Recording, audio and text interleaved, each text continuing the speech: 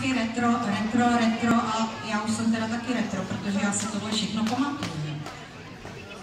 A oni, když vymýšleli, tak říkali, a Emi, co jsi tam ještě tenkrát dělala?